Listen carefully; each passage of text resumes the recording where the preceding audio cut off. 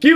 ¿Qué más? Hoy es 21 de octubre y estamos celebrando en nuestra querida Colombia a Santa Laura Montoya.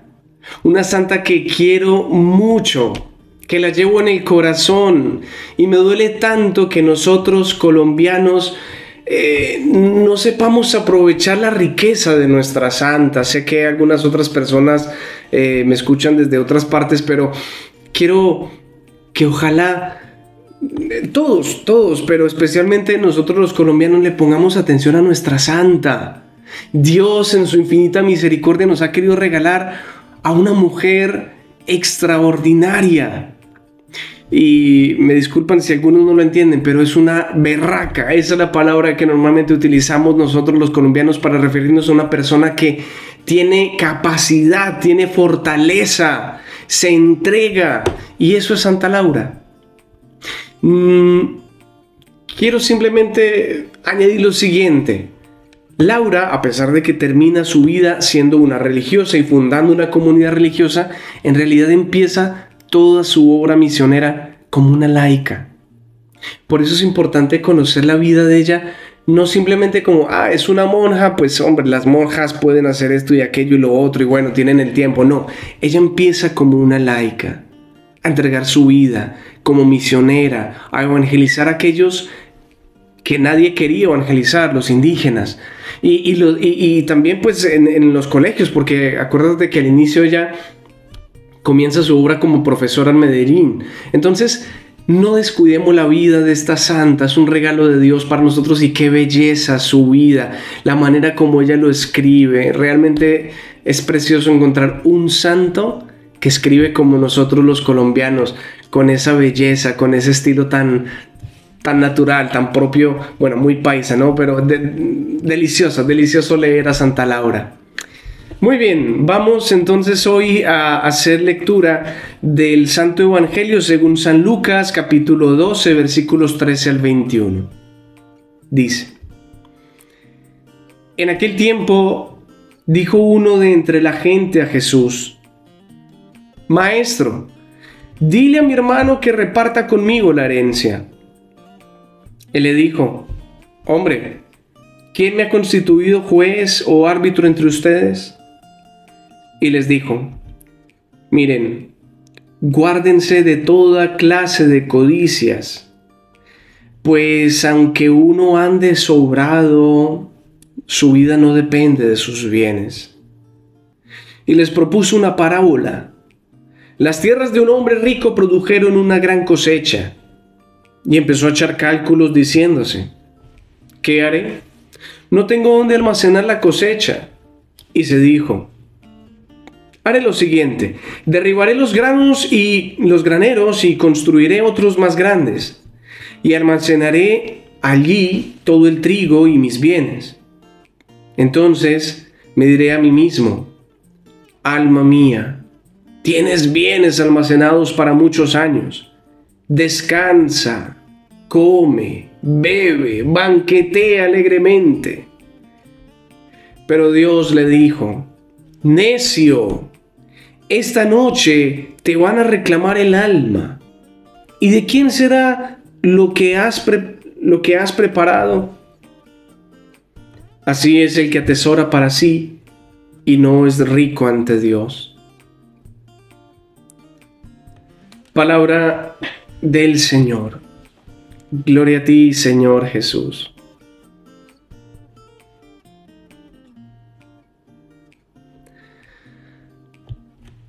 Ante un problema de dineros, de bienes, platas y todo aquello, Jesús dice, mira, yo no soy el juez ni el repartidor de nadie. A mí esas cosas me tienen sin cuidado.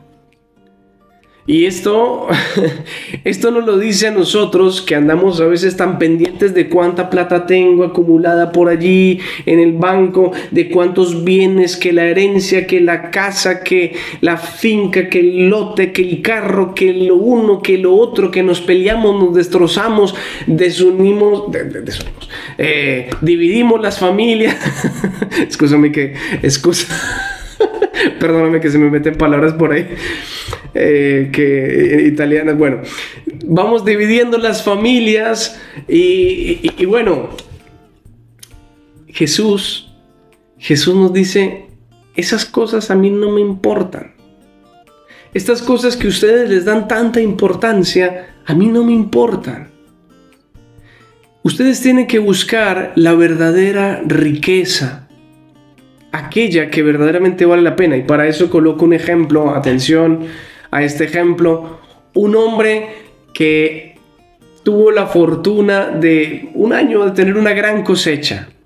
Es como para nosotros tener un gran ahorro, un gran ahorro en el banco, o yo qué sé, o nos salió un negocio, o nos llegó la herencia tan esperada. Bueno, pues este hombre tuvo una gran cosecha. Y se puso a echar ¿Y ¿Qué voy a hacer? Ah? Es que es bastante.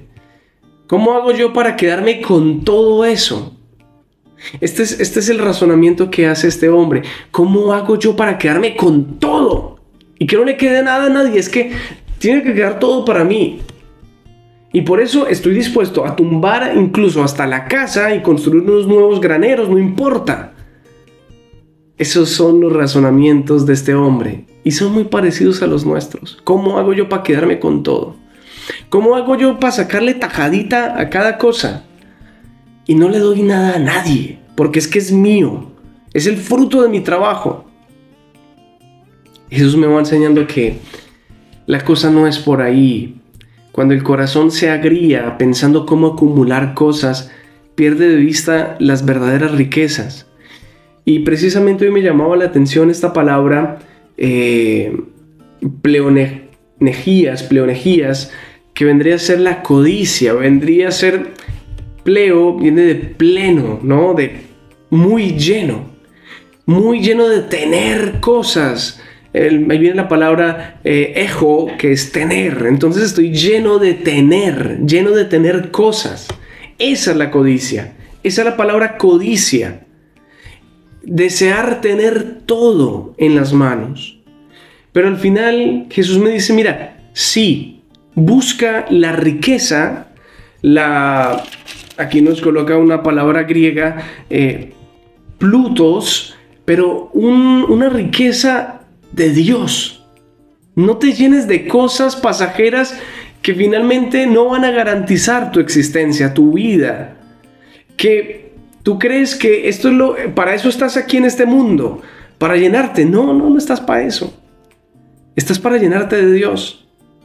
Y termino citando una historia que creo que ya la he compartido, pero me gusta mucho, de una, una amiga que conocí. Eh, ella hacía las veces de sacristana en una de nuestras capillas, en uno de nuestros colegios. Y siempre la veía, todo, bueno, casi todos los días, la veía de arriba para abajo como una hormiguita trabajando y haciendo y moviendo y cuidando y limpiando los, eh, la, capilla y los floreros, teniéndolos llenos de florecitas, etc. Y nos hacía muchos favores, una mujer completamente disponible. Y, se me ocurrió un día preguntarle, bueno, ¿y cuándo, cuándo son tus vacaciones? Y me decía, ¿vacaciones de qué, padre? Pues sí, tú tienes derecho a vacaciones, ¿no? O sea, como todos los trabajadores, me decía, padre, no, yo no, yo no soy una trabajadora. Yo aquí, yo llevo desde el 94, imagínate, que, que su hijo había estudiado en uno de nuestros colegios desde el 94, estoy aquí colaborando, pero esto yo lo hago por amor, por amor. Estoy construyendo una casita allá en el cielo y cada día es como si fuera una tejita estoy colocándole muchas tejitas, muchas tejitas a mi casa allá en el cielo. Imagínate desde el 94 cuántas tejitas va.